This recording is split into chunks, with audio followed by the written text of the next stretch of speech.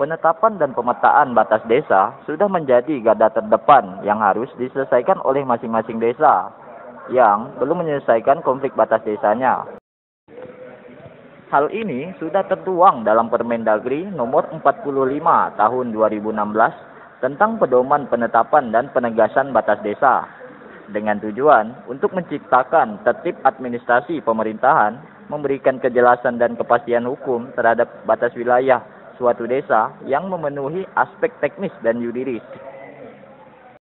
Percepatan di dalam penyelesaian batas desa tahun 2018 di Kabupaten Kukuraya kami eh, lebih memprioritaskan desa-desa yang dianggap eh, mempunyai persoalan sengketa batas yang sudah mengarah ke pidana dan perdata.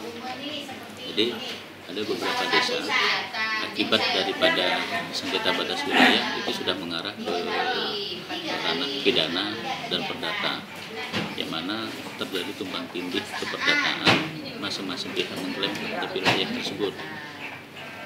Nah, desa-desa tersebut kami sudah coba untuk menginventarisasi, terutama di Kecamatan Tugu, terus di Kecamatan Sungai Raya, Kecamatan Sungai Kakap itu ada satu desa yaitu Punggur Kecil dan Kecamatan Sungai Ambawang.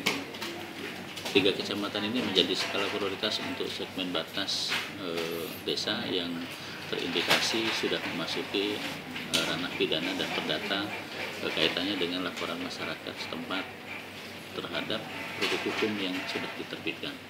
Selain itu, Permendagri nomor 45 tahun 2016 tentang pedoman penetapan dan penegasan batas desa ini juga bertujuan untuk menciptakan lapangan kerja atau proyek baru bagi pemerintah, yaitu dengan dibentuknya tim penetapan dan penegasan batas desa mulai dari tingkat pemerintah pusat provinsi sampai dengan pemerintah kabupaten kota.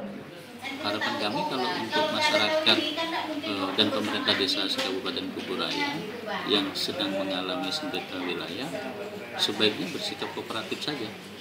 Artinya ketentuan-ketentuan di dalam penyelesaian batas wilayah sesuai dengan Permendagri nomor 45 tahun 2015 itu harus dipenuhi. Apa pun yang diminta oleh Pemdes kaitannya dengan eh, fakta-fakta hukum terhadap klaim atas wilayah harus segera disampaikan.